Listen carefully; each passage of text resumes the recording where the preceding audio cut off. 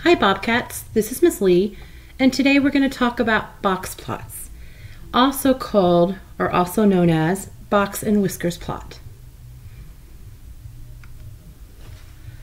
For some data distributions, you will need more information about the center of the data than just the measures of central tendency.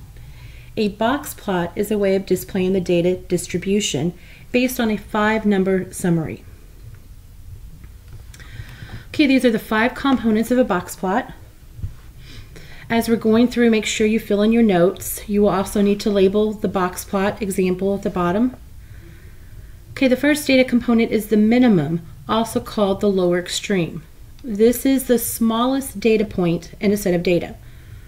So on your box plot, this point right here is the minimum, or the lower extreme. The maximum, or upper extreme, will be the largest data point in a set of data. And here is the maximum point, or the upper extreme.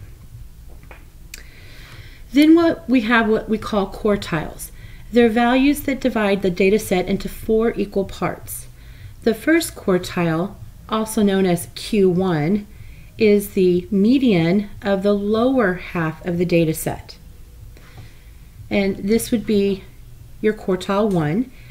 You see you've got this box, quartile 1, the first quartile is the left side of your box. The second quartile, known as Q2, is the median of all the data. So a lot of times it's called Q2, second quartile, but it's the line that's inside of the box. It's also just called median, the median. And I think that you will actually see it referred to as the median more often than you will quartile 2. But you need to know that it's both. And then the third quartile, Q3, is going to be the median of the upper half of the data set. And this is your quartile 3 right here. You can't see it, can you? Hold on, let me take off my median. Here's your quartile 3. It is the right side of the box. So these are the five data components that you need to know anytime you're looking at a box plot or you want to make a box plot. So let's practice. We're going to find our quartiles. Okay, the first thing you have to do, here's your data set, is you want to order the data set from least to greatest. Just like we did when we found the me median, the data set has to be from least to greatest. So let's go ahead and order them. And now you're ready to find the median which is quartile 2, the middle of the data. And this is just like normal. You can cross off the low, high, low, high, low, high until you get to the middle number. Or you can think of this as, excuse me, as looking how many pieces of data are there. There's one, two, three, four, five, six, seven, eight. There's nine. And if we split it in half, that means we're going to have 4 in the lower half, 4 in the upper half, and 87 is the middle number. So 87 is our median. Okay, then we want to find the median of the lower half of the data. So that means all of the data that's to the left of the median. We want to find the middle number of this data. Now as you'll notice, there's four numbers. That means the median is going to fall in between the 41 and the 65. So to find what the median of those two numbers are, we just add them up and divide by 2. So 41 plus 65 is 106. Divide 106 by 2 and we get 53. So the median of this lower half is 53. This is our quartile 1. Then to find the quartile 3, we want to find the median of the upper half of our data. So the upper half of the data is the data that's larger than the 87.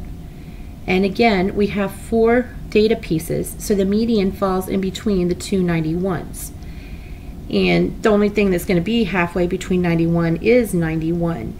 And we can show that by adding them together. We get 182, divide 182 by 2, and it gives us the 91. So we can fill in our quartiles. Quartile 1 is the median of the lower data half, which is 53. Quartile 2 is the actual median of the data, which we found to be 87. And quartile 3 is the median or the middle number of the upper half of our data, which was 91. Let's do another one. All right, again, we start off, here's our data set. We want to order from least to greatest. How many pieces in our data set? One, two, three, four, five, six, seven, eight, nine. There's 10. And if we divide 10 by 2, we get 5.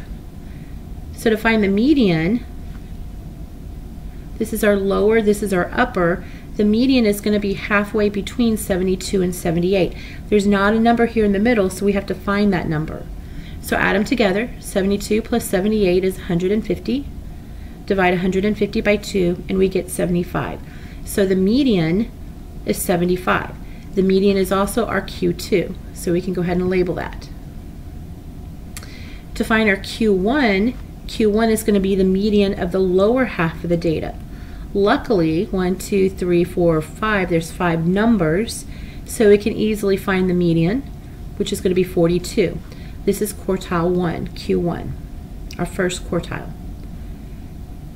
Now we already have our upper half of our data here. We want to find the median of that, and it's going to be 89. So this is our quartile 3, 89. I find that it's always easiest to put a box around the upper and the lower half of your data. And if there's a number in the middle, then that's going to be the median or the quartile 2. If there is no number in the middle, like here, then you have to find the mean of the two numbers. You're going to find the middle number, and then that becomes your quartile 2.